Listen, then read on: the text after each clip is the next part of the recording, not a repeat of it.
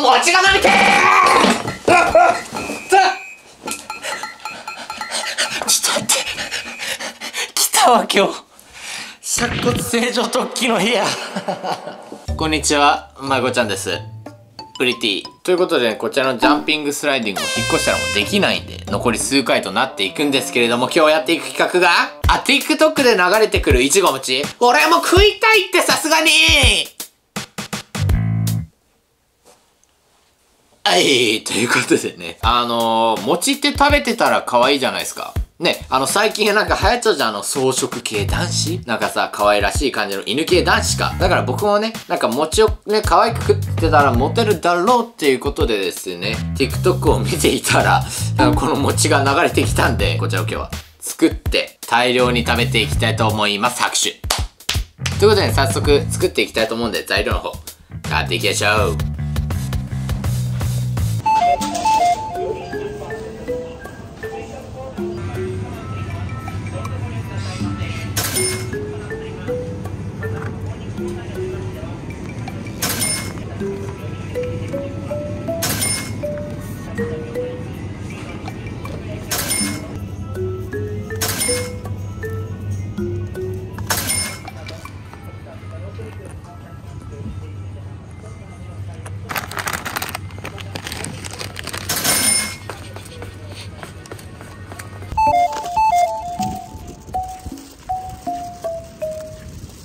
はい、ということで買ってきました ということで今回ね、もう大量に そうこれはマジで美味しそうだったんで買っちゃいました。明太ピザポテト。今回はちょっと大量にちょっと作りたいんで、レシピの2倍の量で作っていきます。ただ、ちょっとレシピがよくわからない国の言語だったんで、ちょうまく再現できるか心配なんですけど、まあ、ちょっと頑張ります。でまずこのいちご餅なんですけど、中に何が入ってるかっていうと、クリームチーズいちごソースみたいなのが入ってるんですよ。まずその中身からちょっと作っていきますね。はい、まずこちらクリームチーズを 200g。よいしょと。そこに粉糖 40g ね。ほいほいほいほいほいほいほい。生クリーム 360g。ほいほいほいほいほいほいほい。オッケー。それにいちごジャム。じゃあ 200g 入れます。よいしょ。わあ危なっべえな、このいちご。積極的ね。本当に。えあと 70g ね、これ。こんぐらい。ああ、多いな、これ。いや、こんぐらい。これで多分ちょうど。あえ、え、えら、終わった終わったちょっと待って。そしてこれをミキサーで混ぜる。と見せかけてこのまま混ぜたらね、誰かさんみたいに、このクリームチーズがぶっ飛んで、カメラの前が折れちゃうんで、ちょ、一旦これ馴染ませますね。うわこれな、ぶっ飛ぶ気しかせんで、これ大丈夫かなじゃあ行きますゴーいいね、いいね、いいね。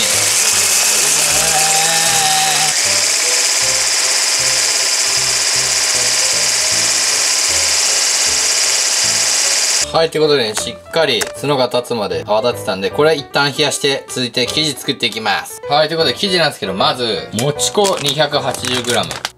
よいしょ、よいしょ。コーンスターチ 60g。オッケー。グラニュー糖 70g。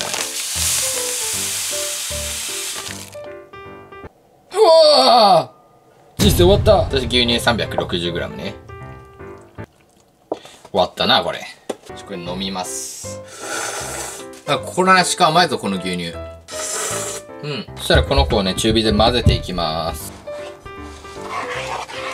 あべ、フライパン手で支える癖あるんよな、これ。これでいつも焼きをするんよな。ちなみにね、このカメラのマイク、さっき言った通り折れたことあるんやけど、これ3個目やけんね、このマイク。もう2回折れちゃうんや。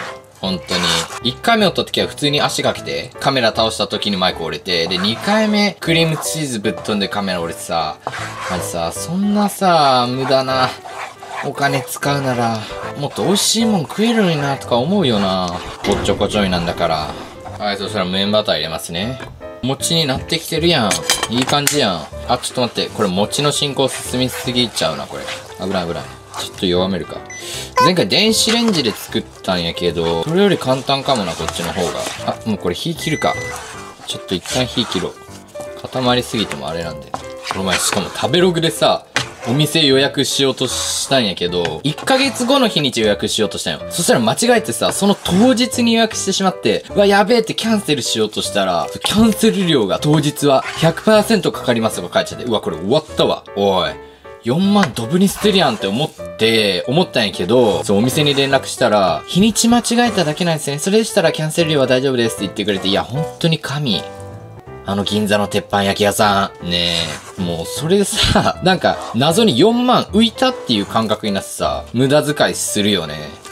ハーゲンダッツ買ったし。いや別にさ、自分のミスなのにさ、あれ？なんか俺4万浮いたわとかなんか変な感覚になりだしてさ、こういうやつが貯金できるのよな。本当に。勘弁してほしいわ。今年の目標は貯金です。あ、いい感じじゃない？ほらほらほら。あ、いい感じになってきた。4万とかあったら、ね、一人で回転寿司とか行ったらね、もう、はま寿司とか、20回くらい行けるよね。でもなんか、磯の香りしてきたもん。餅生地ができたんで、こちらをちょっと取り出していきましょうか。よいしょはい、そしたらこの生地をね、ちょ分けていきますか。ちょっと大きめのやつを10個くらいかな。こんなもんすかね。そしたらこの子を広げていきます。丸く伸ばしたら、お皿のね、上にこれ乗せますと。ちょっと絞りに入れるの忘れてたんで、子宮入れます。よいしょ OK。これかなこれかな。これねこちらのクリームをまた絞りますと。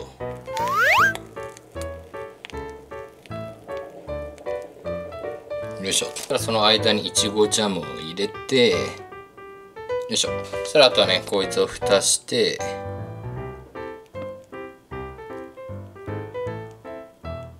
でこれを包むと。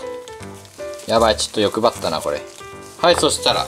じゃじゃーん。いちご餅の完成。あとはこれを9回繰り返していきます。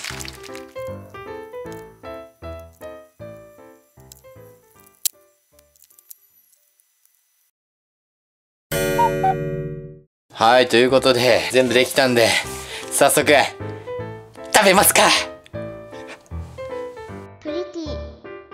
いや、マジで時間かかったで、これ今回は。制作の裏側では実はね、ちょっと何回も作り直したりとかあるんすけれども、早速じゃあいただいていきたいと思います。もうお腹空いてやばい。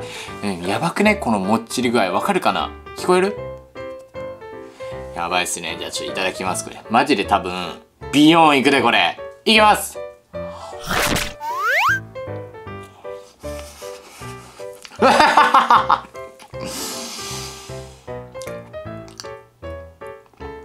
うまえー、待って待って、やばいやばいやばい。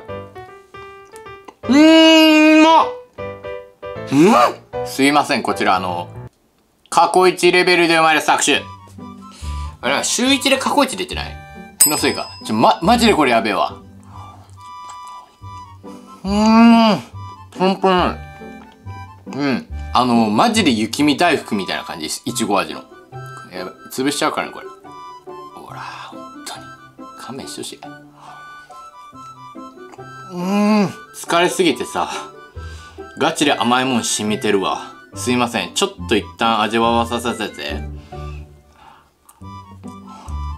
マジで甘いもんってさ、一気に回復するね。しかしね、ちょっと朗報がありましてですね、え、先日、みゆちゃんがあげたチョコ餅の動画、なんとあれ、僕のチョコ餅の動画見て、真似してくれたとで拍手。これ以上にない幸せですね、こちら。はい。いやー、それにしても結構綺麗にできたな。さすが、元美術部部長ですね。え？あ、2週間。少な。僕あの美術部の部長だったんですよ。2週間くらいね。中2の頃に山口に引っ越していって、最初野球部入ると思ったけどさ、マジで本当に野球部の一個上の先輩がバチクソにうざくて、苦手だったんで、とりあえずもう野球部いいやと思って美術部入ったんよ。まあ、内申点上がるかなと思って部長になったんよ。その後、2週間後くらいに野球部の先輩たちがもう引退したんよね。あれ？待ってよ。これ引退したらこれ、あいつらおらんくなるけ。野球やれるんちゃうんって思って、野球部に転部しました。拍手。うん。責任感ないね。本当に。部長になったのにもかかわらず。2週間で辞めて野球部に行くっていうね。で、まあ、はい。レギュラー課されましたね、一瞬で。うん。まあ、部員が11人くらいやったんやけどね。うままあ一応ね、辞めたとはいえ2週間美術部には所属してたんで見てください。こちら僕のアパ社長、ほら。これ美術部2週間所属したらこんくらい上手くなりますから、はい。でも、これむしろ逆にセンス悪くない？売ったら2億とかで売れそうなワンチャンタッチしてない？これ。ねえ。うん。これ結構冷蔵庫で冷やしたんで、本当にアイスみたいで。雪見大福みたいな。うん。自炊始めようと思っちってさ、なんか、いんちゃんくわのさ、インスタのストーリーで、なんかアーカイブにさ、自炊日記みたいなやつあげちゃう人、あれやりたくて。やっぱ自慢したいやん。ねえ、俺料理できますって。俺自炊してますって。いや別に料理できるわけじゃないけどさ、やっぱ見え張ってたいやん。男たるもの。まあ、そこでね、ちょっとね、僕がこれから自炊日記を始めるにあたってみんなに言っておきたいのが、あの明らかに一人じゃない量の多分写真を載せるけど、あの、ガールフレンドじゃないんで、はい、本当に。まあ、その心配がないとかみんな思っちゃうかもしれんけど、それはやかましいわ。うん。それはあの写真映えのためなんで、あの一人で全部食うかあのプレデターにあげるんで。あのプレデターっていうのはあのマネージャーね。うん、本当にあのバケモンみたいな髪型してますからね、プレデター。違う、マネージャー。あのマネージャーマジいかつい過去しょうくせにめちゃくちゃ小食なんよ。ちょ、あれは食わせんといけんわ、本当に。まあ、あもちろんあの僕の実績が食べたいって方はあの DM くださいね。それはもちろん、はい。あの、受け入れますね、全然。うん、なんか、これガチで真似してほしい。うますぎ。うん。で、これね、生地はちょっとね、サムネ映えのために食紅に使ったけど、全然白のまんまで全然いいんで、美味しいんで、味は変わんないんで。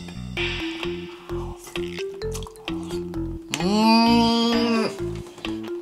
ちょっとね、制作にあまりにも時間かかって、普通にお腹が空いてお昼ご飯食っちゃったんで、いいデザートになりました。ということで残りはあのプレゼンターに投げます。はーい。